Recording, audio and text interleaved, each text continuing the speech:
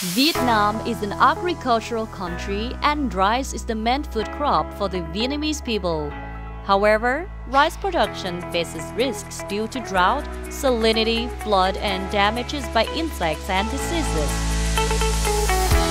Farmers today need crop varieties that can withstand these challenges.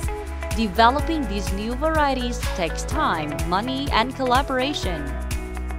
The Crop Trust BOLD Project, Biodiversity for Opportunities, Livelihoods and Development, is a 10-year project funded by the Government of Norway.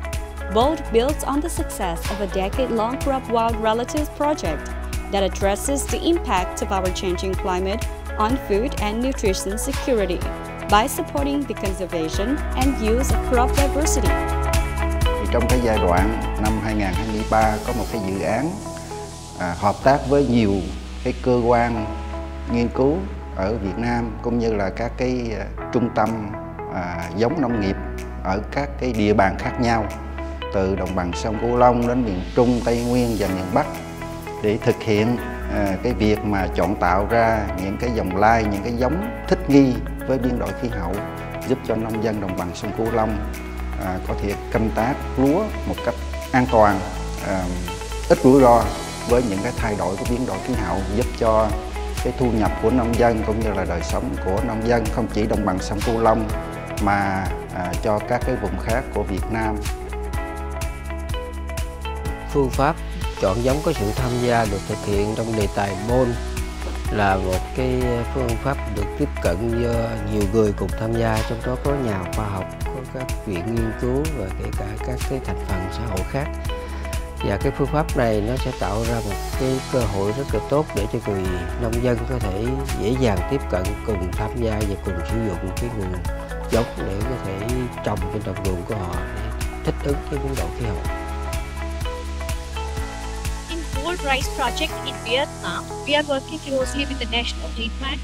to access and characterize the rice diversity conserved in gene banks which will, will be used for the development of new pre-breeding populations. These pre-breeding populations are developed by crossing the widely adapted and popular rice varieties and the promising germplasm accessions such as land races and uh, wild species having the target traits uh, so that we can develop the new population which will have the useful traits combined from both the parent into one and finally the lines which have useful trait from both the parents are selected uh, for use uh, by the farmers. And these are the traits in which farmers are really interested in such as high yield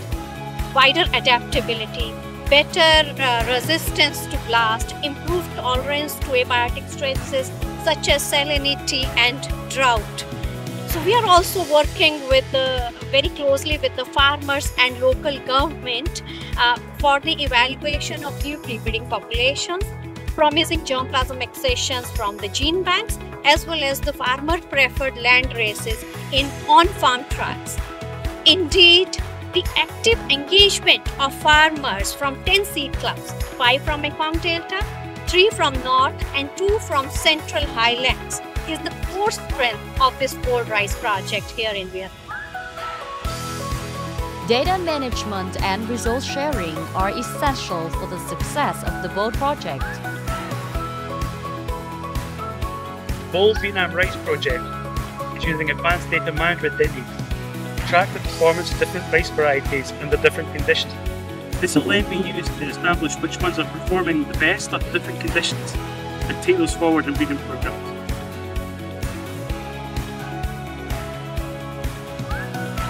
The BOLD Rice Project in Vietnam has the potential to make a real difference to the lives of farmers in Vietnam and beyond.